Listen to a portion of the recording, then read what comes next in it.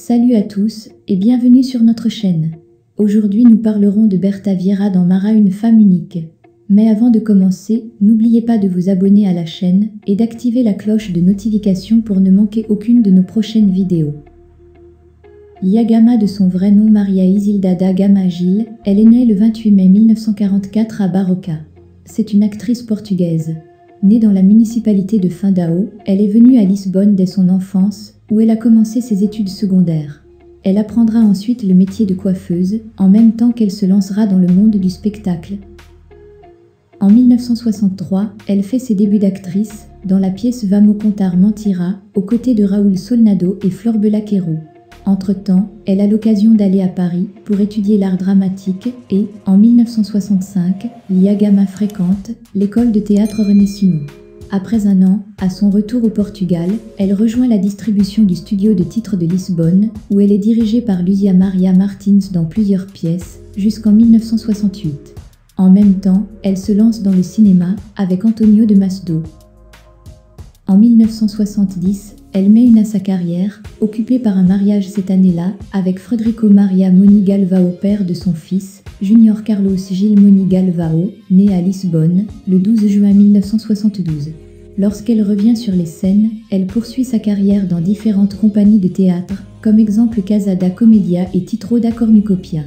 Pendant son temps libre, elle fait des incursions dans le théâtre télévisé et, à partir de 1974, elle commence une carrière régulière dans le cinéma, imposant son visage, de façon indélébile, à l'écran. Entre 2015 et 2017, elle a incarné le personnage de Berta Vieira dans le feuilleton Mara Une femme unique. Le 25 mars 2019, elle a reçu le grade de commissaire de l'Ordre du Prince Henri le Navigateur. En mars 2019, L'actrice Yagama était l'invitée de l'émission Haute Définition de dirigée par Daniel Oliveira de la chaîne portugaise SIC. L'actrice se souvient d'une enfance marquée par la violence physique. Lia se définissait comme la bombe de fête d'une famille qui ne savait pas ce que c'était d'aimer ou de donner de l'affection. Son père et sa belle-mère étaient les agresseurs.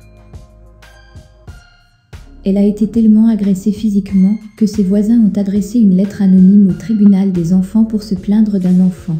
Ils ont été jugés et acquittés. J'ai été interrogée à plusieurs reprises, ils m'ont fait passer plusieurs examens à l'Institut de médecine légale et je n'ai jamais fait de rapport, a-t-elle déclaré.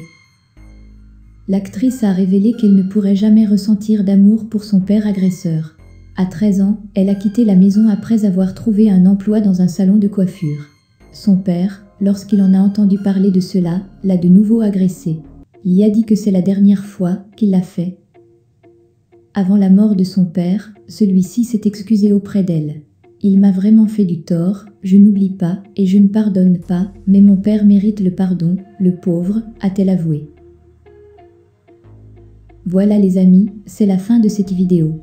Merci de l'avoir regardée.